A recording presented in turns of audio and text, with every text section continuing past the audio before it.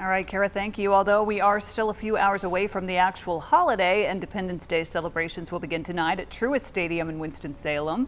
July 4th events kick off at 6 with a Bolt White and Blue Stadium party, and this is the first year the Dash is holding the event, giving families somewhere to go to celebrate leading up to the 4th. Yeah, we're super excited for tonight's event. Um, it's our first ever Bolt White and Blue Stadium party.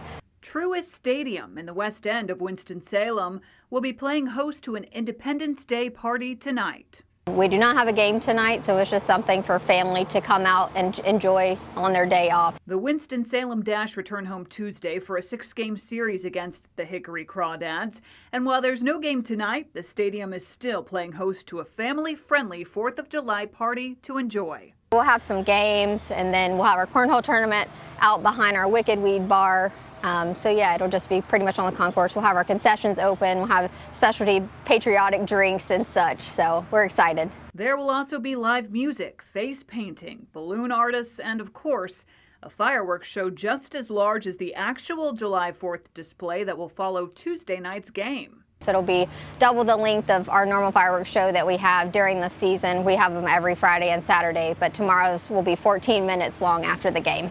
Celebrating Uncle Sam and getting into that 4th of July spirit a day early. We just wanted to provide something for our fans to do. We knew some people may have to go to work on the 5th, so we were like, we know everybody's going to be off for July 4th, so let's give them something to do at the stadium, bring their family. It's a $5 ticket, so just come and have some fun at the stadium.